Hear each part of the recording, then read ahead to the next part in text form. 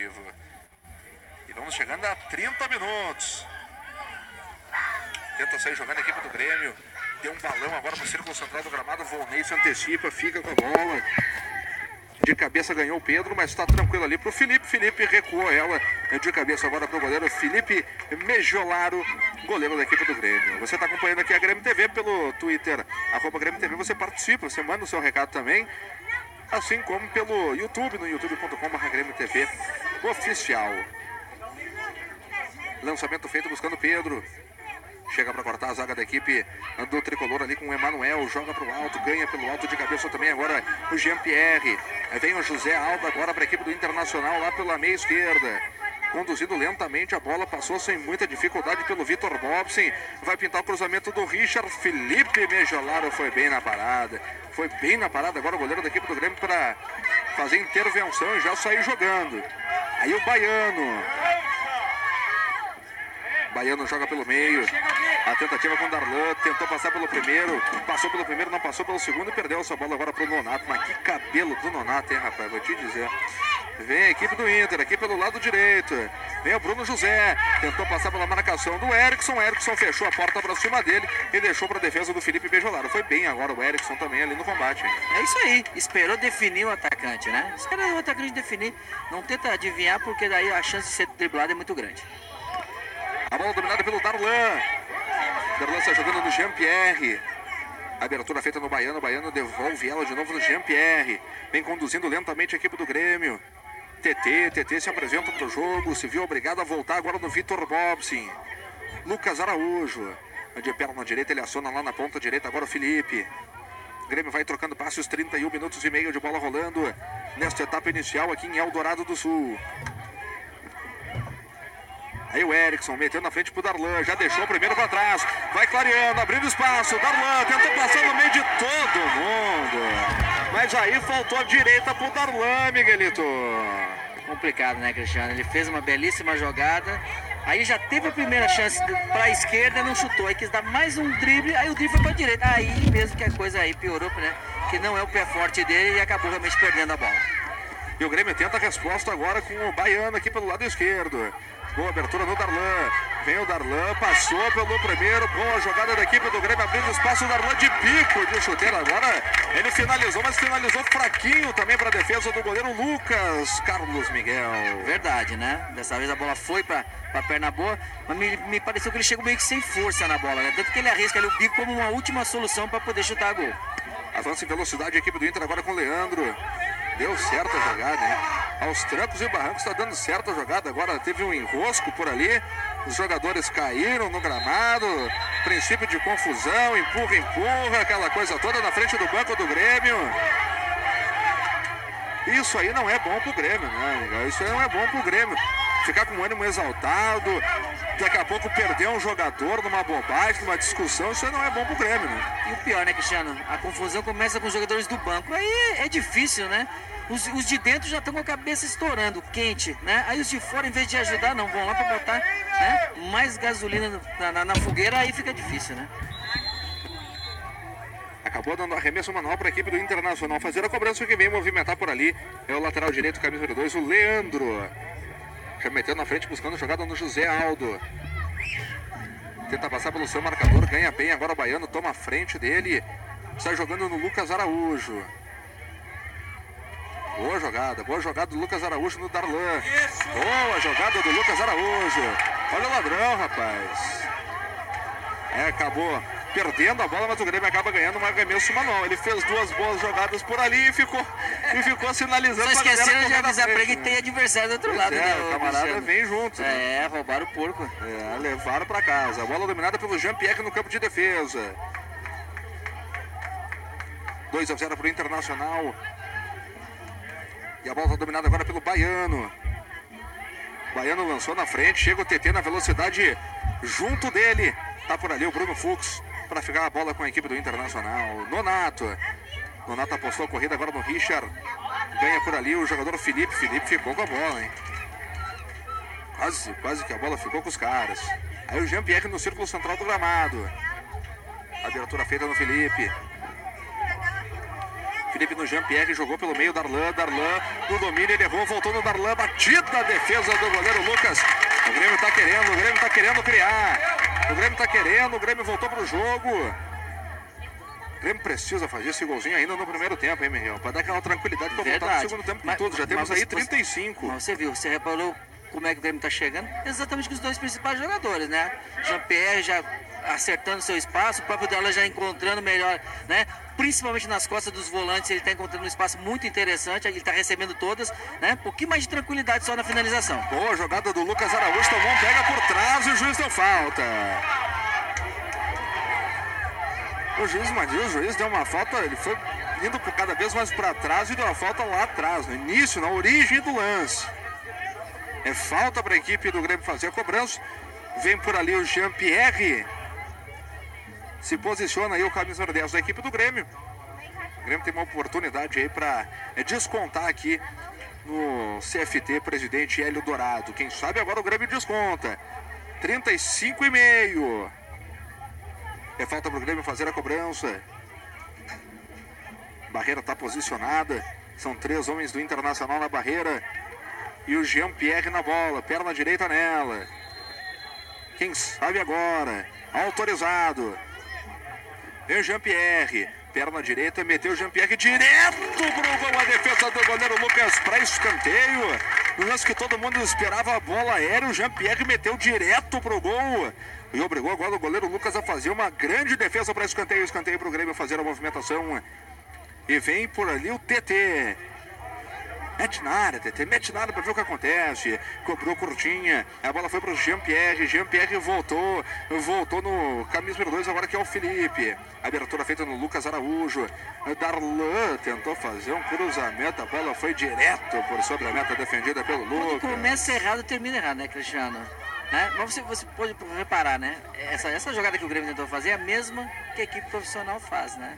Aquela jogadinha, mas bem mais ensaiada, né? Às vezes, às vezes a pessoa acha que é, não, o profissional faz, o sub-20 vai fazer também, né? Mas para isso tem que trabalhar, tem que fazer, tem que ensaiar, porque as coisas não acontecem do nada. Aí o Erickson, zagueiro da equipe do Grêmio, tem a bola dominada. Temos agora 37 minutos. Vamos chegando a 37 deste primeiro tempo. Zero pro Grêmio, dois pro Internacional. É a decisão do estadual sub-20. É a volta com o Jean-Pierre. Tentativa agora no Darlan. Darlan ficou no meio do caminho.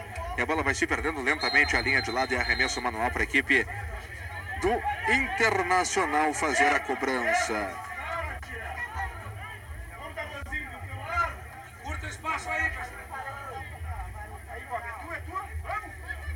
A movimentação já foi feita, a bola tá com o Darlan de novo. Aí o Darlan deu no Jean-Pierre, passou pelo Nonato, abriu espaço, Lucas Araújo, boa jogada do Lucas Araújo. Tentou abrir espaço, a bola ficou lá na ponta direita no Felipe, Felipe no TT, tá pintando o gol do Grêmio. Vem o TT, TT tentou o toque agora pelo meio de novo no Felipe, fez a proteção, o zagueiro da equipe do Internacional, a bola se perde a linha de fundo. Tiro de meta, tiro de meta para a equipe do Colorado fazer a cobrança.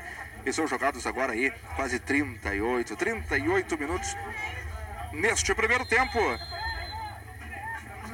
O Grêmio vai precisar fazer um segundo tempo de superação, hein, meu Miguelito? O Grêmio vai precisar fazer um segundo tempo que eu vou te dizer, aquele, aquele jogo perfeito é o que o Grêmio vai precisar fazer na segunda etapa. Olha, Cristiano, e para isso também não descarte fazer algumas mudanças, né? O Grêmio vai precisar, infelizmente vai se expor um pouquinho mais, mas vai ter que jogar o time um pouquinho mais para frente. O Grêmio que ainda tem aqui o da Silva, que é o artilheiro da competição, com nove gols. Tem também o Patrick. Vem o Grêmio. Boa bola. O Luiz Henrique tentou evitar a saída pela linha de fundo, até conseguiu, mas facilitou a defesa do goleiro Lucas, da equipe do Internacional. Já sai jogando aqui pelo lado direito Colorado. Aí com o Leandro. Mas ninguém aperta o cara. Conseguiu o toque agora no Bruno José. O Bruno José no José Aldo, por sua vez, ele inverte tudo. Tentou meter uma graça. Agora o Richard no domínio. José Aldo. José Aldo tentou botar no Richard de novo. Chega para cortar a zaga da equipe do Grêmio, bem postada. Darlan. Luiz Henrique. Luiz Henrique tirou a marcação e sofreu a falta. Podia pintar o cartãozinho amarelo aí, ô Miguelito. Matou o contra-ataque, né? Poderia tranquilamente dar o cartão amarelo. Não deu cartão amarelo aí. O seu Érico Andrade. Troca passes da equipe do Grêmio agora no campo de ataque. Aí o Lucas Araújo. Abertura feita no Felipe. Felipe volta ela agora no Jean-Pierre.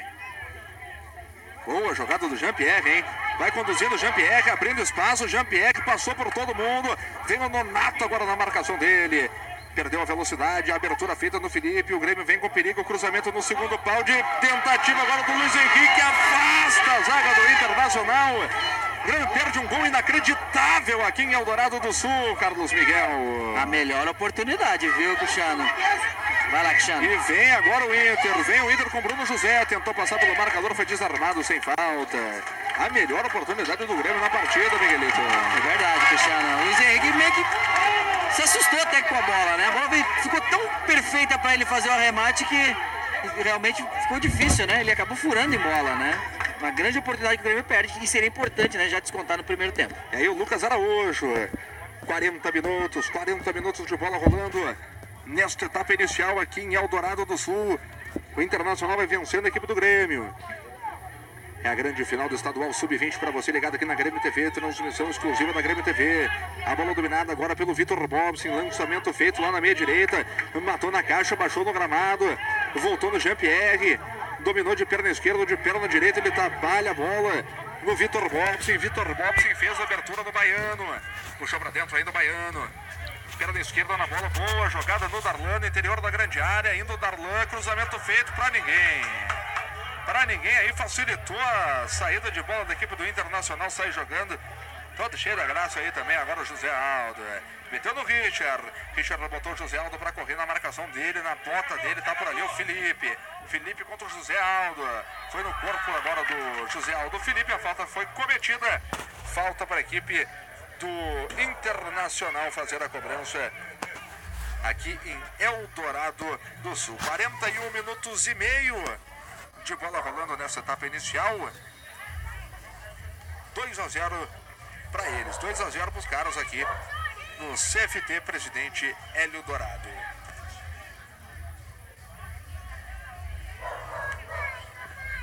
Aí a bola dominada agora pelo Internacional com Nonato. Nonato no Edson Carvalho. Joga atrás, joga ali com o Volney. O time tá muito atrás. E a torcida tá falando que o time tá muito atrás aqui, Miguel. A gente conseguiu ouvir ali o torcedor falando que o time tá muito atrás. Tá de acordo com o torcedor aí, Miguel? É, ainda mais porque tá perdendo, né? Que já pedindo resultado, né? Tem que soltar. De alguma maneira no segundo tempo ele vai ter que soltar a equipe. Seja com, com mudança tática ou até mudança de alguns jogadores, né? Porque o Grêmio tem dificuldades. Vai lá. Olha a equipe do Internacional com perigo. Chega bem agora o zagueiro Erickson. Erickson tomou bem à frente, parece estar se redimindo daquele erro do início do jogo, né? Que oportunizou a equipe do Internacional abrir o placar. O toque pelo meio acabou passando pelo Luiz Henrique e fica de novo com a defensiva do Internacional. Está jogando no Nonato. Abertura feita, a bola está com o camisa número 6, agora que é o Heitor. Heitor deu no Richard, já no campo de ataque lá pelo flanco esquerdo. A equipe do Inter troca passes no campo de ataque. 43, vão chegando a 43 minutos de bola rolando nesta etapa inicial aqui em Eldorado do Sul. Aí o José Aldo deixou no Richard. Richard no Nonato. Vai fazer inversão de jogo. Chega o Baiano, tá sozinho aí para ficar com a bola lateral esquerda da equipe do Grêmio. Aí faltou tranquilidade também pro Baiano. O Baiano acabou chutando direto pela linha de lado. É arremesso manual para a equipe do Internacional fazer a cobrança. Vem por ali o Leandro. Já movimentou o Leandro agora com o centroavante Pedro. Volta ela agora no campo defensivo. Troca passos da equipe do Colorado. Ali com o Bruno Fux. Bruno Fux fez a abertura no Heitor. Joga atrás. 43 e 40. Estamos na reta final deste primeiro tempo. Primeiro tempo para esquecer aí da equipe do Grêmio. Tentativa, a bola fica com a equipe do Internacional. Lançamento feito no Pedro. Pedro matou no peito, baixou no gramado. E o Grêmio tá só cercando. O Grêmio não tá agredindo da, na, na, marcação também, né? O, o Grêmio parece estar tá só liberdade, cercando. Cristiano. Muita liberdade para jogar. Ganhou bem agora o Vitor Bobsin. Já lançou na frente no Luiz Henrique. A bola se ofereceu para o Jean-Pierre. Desafoga. Vem o jogo no Baiano. Já se projeta à frente por aqui na ponta esquerda o Darlan. Vem bem o Baiano. A tentativa. O toque foi mais curto. E a bola se ofereceu para o zagueiro Bruno Fux. Na verdade é o Volney que está por ali para tentar sair jogando. Chutou a bola em cima do jogador da equipe do Grêmio. É arremesso para o Internacional fazer a movimentação aí no campo de defesa. Perdeu a bola para o Vitor Bobson. Vitor Bobson no Jean-Pierre, Jean-Pierre no TT. Chegou por trás dele agora o Nonato, ganha bem a equipe do Grêmio. A bola está com o Lucas Araújo, vai abrindo espaço. O centroavante Pedro tá na bota dele. Lucas Araújo passou pelo marcador, bateu à direita da meta defendida pelo goleiro Lucas. Que grande chance da equipe do Grêmio. Que grande chance teve o Lucas Araújo, Miguel. Verdade, Cristiano, belíssima jogada individual, né? Tirou dois jogadores e ele viu, viu o canto esquerdo do goleiro, tentou e por um detalhe a bola acabou não entrando. E teremos três minutos de acréscimo. É de bom tamanho aí esses três minutos, Miguelito? Acho que tá bom, Cristiano. Aí o Felipe Mejolaro. Estamos chegando ao final deste primeiro tempo. O Grêmio tenta sair jogando no campo de defesa. Aí o Felipe Mejolaro forçou demais a